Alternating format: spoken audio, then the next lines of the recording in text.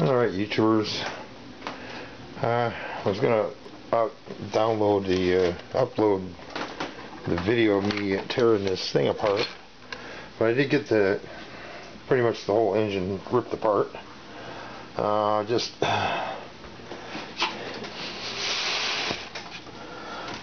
use this uh, round pan and some uh, wood to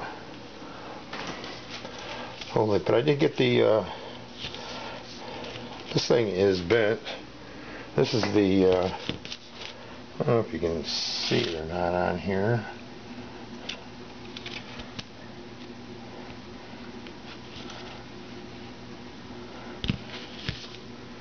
It's got a little bit of a bend to it. It's kind of bent right in here going down. I might be able to place it on a couple pieces of blocks of wood back here and here and take a sledge and whap it once and see if I can straighten it. It was a little rough getting out of the hole but uh, I got the case apart. it's kind of dirty and the gasket except for right maybe right in here. Except for right here maybe it's a little this I don't know if this is the original gasket or could be. A little missing right here but it's covering it it's covering right in here. I don't know if I I know if I take this whole gasket off it's gonna be a real pain in the ass cleaning it getting it cleaned up again but uh,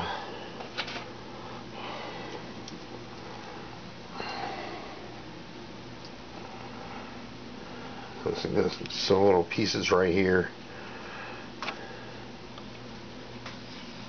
I think that's this part right here. What's that right there? It's that big hole, yeah. So I might, I might just put a little sealer on this and put it back on. And I got this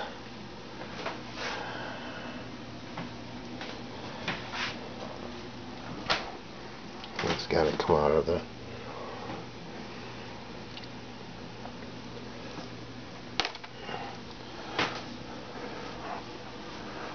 but here's the kickstand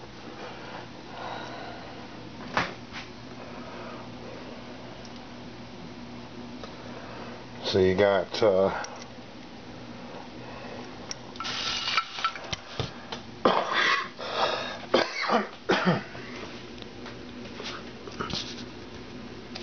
you got a C-clip here, a circlip, I don't know what they call them. There's three of them on here. What you need your um, snap ring pliers. I guess they call it snap rings. But it came out. That fits down in here. This little thing fits in a groove here. It just fits right in there. The, but I'll get the uh,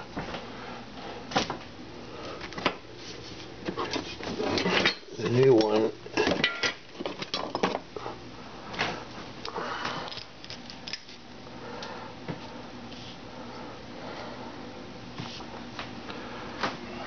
Get the new one on.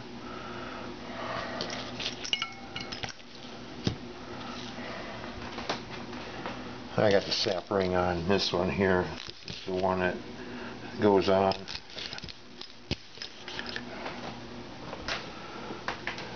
But uh, I might I might just get some sealer. So I did I kind of ruined the uh, bolts taking this thing apart, trying to get it apart. Some more were just nasty. Yeah. So let's stay put here.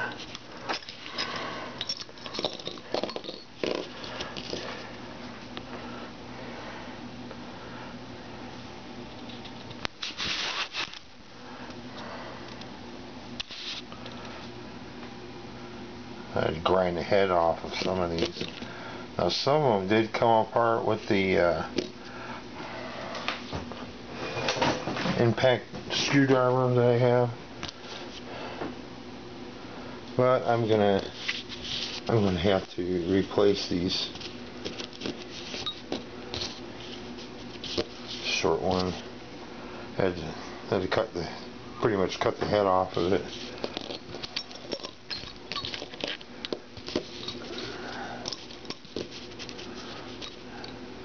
Yeah.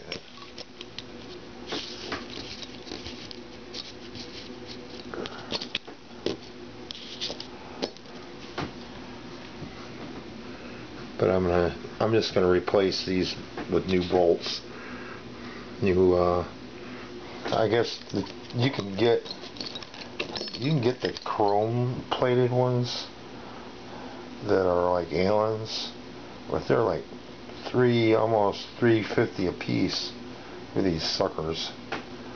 So I'll just go over to Ace Hardware and match up these bolts and uh, get some new ones in there. Put them in there and maybe get some more uh, sealer. Go to the auto place and get some of that black sealer and run around the edge of this. Run around here a little bit because it's pretty. It didn't leak, so I got a feeling that the only leak that'll come out of it is maybe here because there's really nothing breaking the skin here. So it's just a matter of get some. Uh, black sealer and just seal it and then stick it back on. Save my other gasket in case I need it, in case that doesn't work. So, I just uh, do the best I can to clean this up, get all the black junk out of it, spray it down, because I was kind of grinding away, you know. The bearings are in pretty good shape.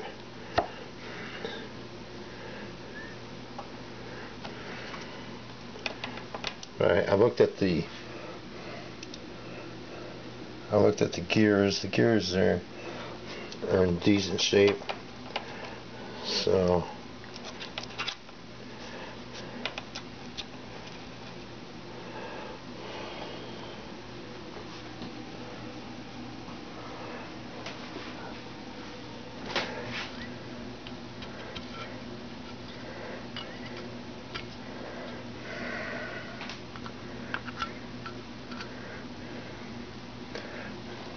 just pretty much clean it up. What this thing that holds this this stuff in is this uh,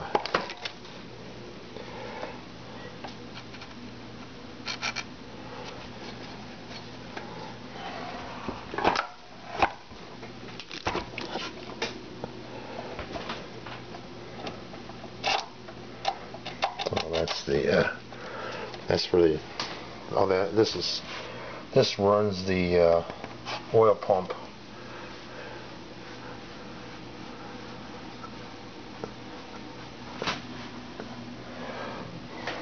I guess I'm gonna have to make sure I get that back in right and correctly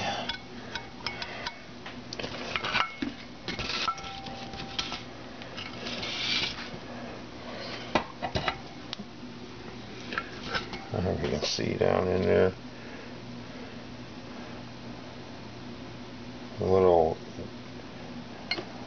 little square peg in there that fits in that slot. Well, I'm going to have to shut, stop this for now.